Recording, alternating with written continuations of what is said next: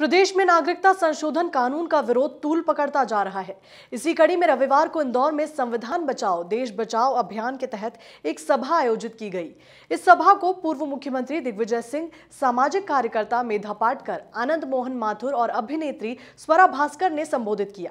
सभा में बड़ी संख्या में अल्पसंख्यक समुदाय के लोगों ने मौजूद होकर केंद्र सरकार की नीतियों के खिलाफ जमकर नारेबाजी की। यह नज़ारा है इंदौर शहर के महालक्ष्मी नगर ग्राउंड का। जहाँ राजनीतिक पार्टियों और सामाजिक संगठनों द्वारा केंद्र सरकार के खिलाफ प्रदर्शन किया गया।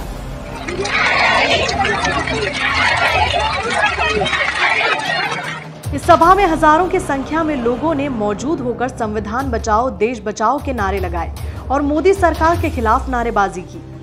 सभा में मुख्य रूप से उपस्थित फ़िल्म एक्ट्रेस स्वरा भास्कर ने केंद्र सरकार और संघ पर जमकर हमला बोला। स्वरा ने साफ़ शब्दों में कहा कि यह काला कानून है। जो देश को बांट रहा है। इस दौरान बड़ी संख्या में मौजूद लोगों ने स्वरा भास्कर के साथ मिलकर सरकार और आरएसएस के खिलाफ जमकर नारेबाजी भी की।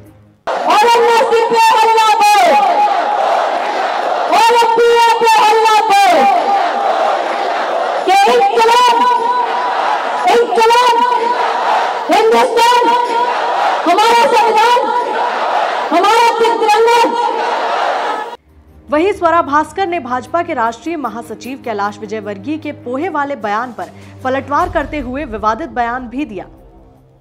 दौर के ही एक सुपूत हैं, कैलाश विजयवर्गीय साहब। भाई, एक बात बताइए मुझे।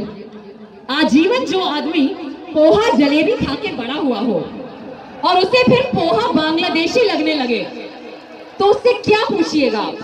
यही पूछेगा ना आपके अंकल क्या फूक रहे हो? यही पूछेंगे? और मेरी एक सिंपल सी मतलब सिंपल सा तर्क है कि अगर पोहा बांग्लादेशी है तो जो आदमी आजीवन पोहा खा के बड़ा हुआ है, वो भी बांग्लादेशी हुआ? दिखाओ अपने कागज़, दिखाओ अपने पीढ़ी पीढ़ी के कागज़। और नहीं है कागज़ तो आप जाओगे नागरिकता की सूची से बाहर। हम पर ये इम्तिहान लागू करने से पहले इस सरकार के सारे नेता दिखाए अपने कागज़ हमें। हमें दिखाओ अपने कागज़। आपने हमसे जो मांगा हमने दिया आपको। आपने, हमने आपको अपने पंजे के निशान दे दिए आधार कार्ड में। अब आप दिखाओगे हमें अपने कागज़।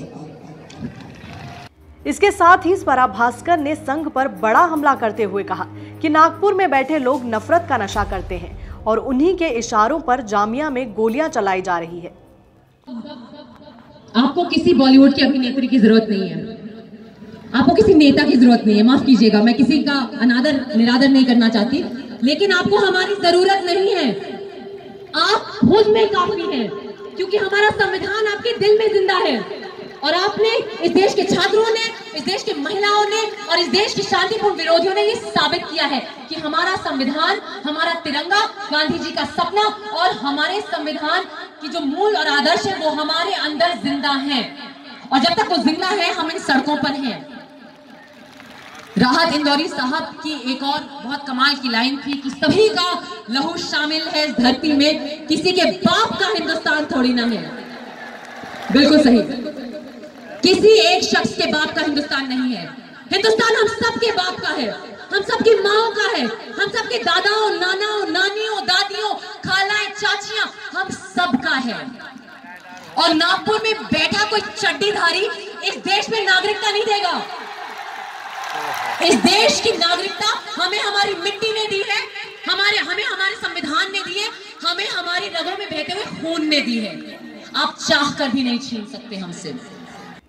वहीं दिग्विजय सिंह ने भी सभा में सीए और एनआरसी को लेकर संबोधन किया। साथ ही कैलाश विजयवर्गीय के पोहे वाले बयान को लेकर और प्रधानमंत्री नरेंद्र मोदी को आड़े हाथों लिया। नागरिकता कानून आएगा, फिर एनपीआर आएगा, फिर एनआरसी आएगा। ये क्रोनोलॉजी कौन ने दिखाई? अमित शाह ने दिखाई। एक और क्रोनोलॉजी समझ में आ रही है। भारत सरकार का मंत्री कहता गोली मारो मारो। और उसके बाद उन्हीं के व्यक्ति आता है, दिल्ली पुलिस हाथ में हाथ रख के खड़ी हुई है और वो आके गोली चलाता है। तो क्रोनोलॉजी समझ में आई कि नहीं आई? और उसके बाद इतना गंभीर बात कहने का दंड सेंट्रल इलेक्शन कमीशन ने नहीं दिया। क्रोनोलॉजी समझ में आई कि नहीं आई? इस क्रोनोलॉजी पर लड़ाई हमको लड़ना है। इस दौरान कार्यक्रम के संयोजक पूर्व महाधिवक्ता आनंद मोहन माथुर ने प्रदर्शनकारियों को संविधान का पाठ पढ़ाया और उन्हें एनआरसी के दुष्परिणाम बताए। इसके साथ ही लोगों से एनपीआर के कागज़ नहीं दिखाने की अपील की। ऐसा है कि मेरी ये बड़ी इच्छा थी कि मध्य प्रदेश में कहीं तो एक बहुत बड़ा आयोजन हो, जिसमें सब लोग शरीक हों। और जो ये आपका पॉपुलेशन रजिस्टर है, आपका सीआरपी है, आपका सीए है, इस सब का पुरजोर विरोध किया जाए। और उसमें सब धर्म के लोग, सब जात के लोग शरीक हों।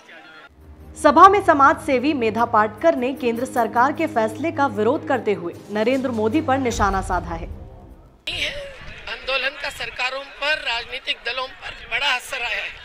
अब देखिए कितने सारे राजनीतिक दलों ने अब सी एनपीआर और एनआरसी को नकारा है।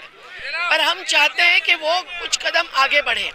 हर राजनीतिक दल जो इसका विरोध करते हैं, उन्होंने ये घोषित करना चाहिए कि हमारा कोई भी कर्मचारी, कोई भी अधिकारी एनपीआर या एनआरसी की प्रोसेस में शामिल नहीं होगा। और जो संघात्मक राज्य शासन की यंत्रणा है, उसका सम्मान करते हुए उन्होंने अपने विधानसभा में ही नहीं जहाँ जहाँ उनका शासन है, उस ज़िले ज़िले स्तर पर प्रस्ताव पारित करने चाहिए।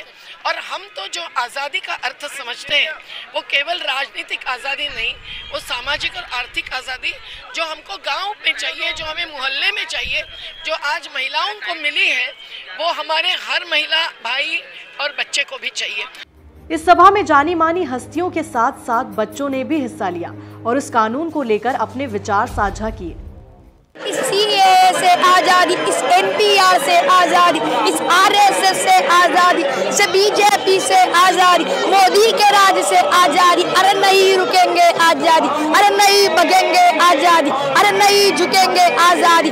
अब तुम्हें डराएँगे आज़ादी, अब तुम्हें झुकाएँगे आज़ादी, अब तुम्हें भगाएँगे आज़ादी, हम लेकर रहेंगे आज़ादी, इस पक्षवाद से आज़ादी, इस मनुवाद से आज़ादी, मोदी के राज से आज़ादी, ये महिला मांगे आज़ादी। तो पुरुष भी बोला आज़ादी वो बच्चे मांगे आज़ादी। कार्यक्रम की समाप्ति के बाद मीडिया से बात करते हुए कांग्रेस नेता दिग्विजय सिंह ने कैलाश विजय वर्गीय और प्रधानमंत्री नरेंद्र मोदी पर दिए गए बयान को लेकर अपनी बात कही। सर कैलाश विजयवर्गीय ने आज ये कहा है कि मोदी जी अभी भक्ति के नशे में मोदी जी इतने देशभक्ति के नशे में कि वो शादी करना भूल गए। शादी तो की थी। छोड़ के चले आए। इस प्रदर्शन के दौरान हज़ारों की तादाद में लोग उपस्थित थे जिसके चलते सुरक्षा व्यवस्था को देखते हुए भारी पुलिस बल तैनात रहा।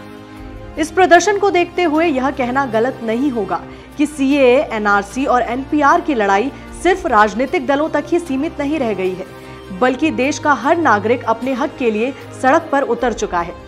अब देखना यह होगा कि केंद्र सरकार इस विरोध के जवाब में क्या कदम उठाती है। Bureau report JSR Times Indore.